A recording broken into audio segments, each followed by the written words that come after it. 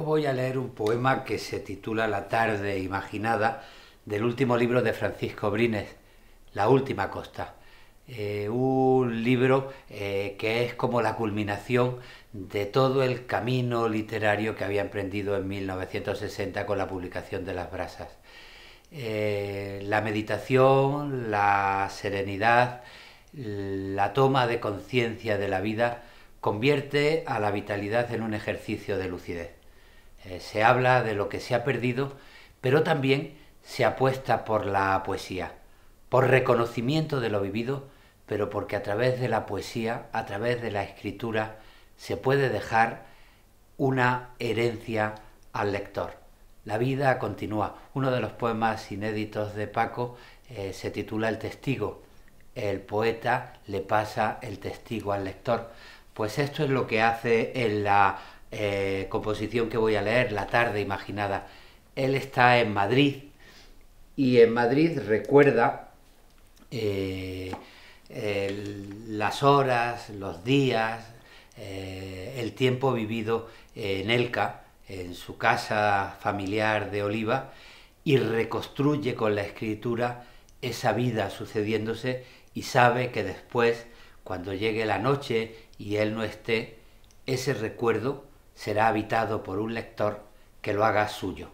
Eh, va pasando de mano en mano la historia humana y va pasando de mano en mano lo conseguido en la escritura de la poesía. El poema está dedicado a Ramón Calla alguien con una vocación tan entregada por la poesía ha hecho del arte, de la poesía, su espacio de vida. Y en los poemas de Paco Brines aparecen muchos amigos en la dedicatoria que son los compañeros de viaje en este rumbo vital de la poesía. La tarde imaginada. Si ahora pudiera ver las desnudas montañas de oliva la exangüe luz cayendo entre sus piedras, a sus pies los naranjos sombríos, el aire azul en torno de la casa y al frente el mar muy pálido. Estar mi cuerpo allí, sabiéndome aún vivo y por ello feliz o esperanza de serlo. Escribo en esta tarde, con la luz de Madrid que cae en las terrazas, la tarde en que imagino que estoy allí, en la piedad de Elca, o escribo para siempre desde la noche inmensa e impura en que no me sé vivo.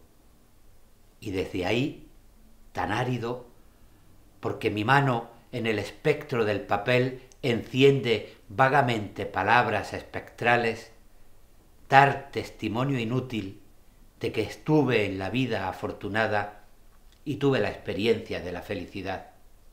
Solo porque en mis ojos las tardes sucesivas se acogieron, como en las ramas paran los sucesivos pájaros, puedo, desde este hueco seco, hacer mover el aire en una tarde incierta, ni siquiera extinguida, pues que fue imaginada, y así resume todas las tardes de mi vida.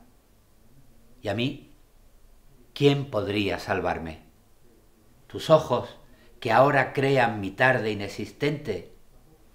Lector, esfuérzate y enciéndela. Está donde un olor de rosas te llega del camino. Si existo, es porque existes.